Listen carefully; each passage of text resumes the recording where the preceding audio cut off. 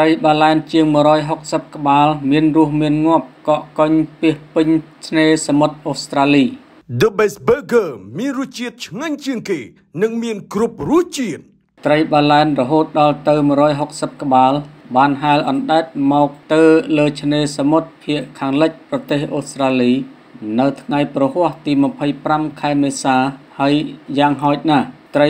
26ក្បាលបានងាប់ នាយកដ្ឋានជីវៈចម្រុះអភិរក្សនិងទេសចរអូស្ត្រាលី បានអះអាងនៅក្នុងសេចក្តីថ្លែងការណ៍មួយថា ក្រមមន្ត្រីសត្វព្រៃនិង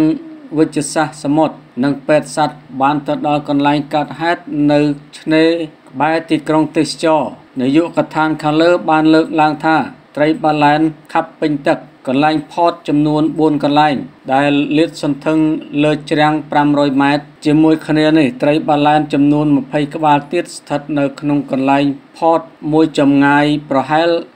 1.5គីឡូម៉ែត្រហើយត្រីបាឡានចំនួន110ក្បាលបានកកកុញនៅចិត្តឆ្នេរសេចក្តីថ្លែងការណ៍បានពណ៌នាថា ក្រុមរបស់យើងកំពុងខិតខំប្រឹងប្រែង ដើម្បីឆ្លើយតបដោយសុវត្ថិភាព និងធានារក្សាអ្នកស្ម័គ្រចិត្តនិងបុគ្គលិកឲ្យមានសុវត្ថិភាពគណៈពួកគេកំពុងខ្នះខ្នែងបំផុតដើម្បីជួយសង្គ្រោះត្រីបាឡែនក្រុមរបស់យើងកំពុងវាយតម្លៃស្ថានភាពរបស់ត្រីបាឡែនដែលបានជាប់គាំងនៅលើឆ្នេរកាលពីខែកក្កដាកន្លងទៅ ត្រីបាឡែនដែលមានប្រវែងវែងជិត100ក្បាលបានងាប់ បន្ទាប់ពីជាប់គាំង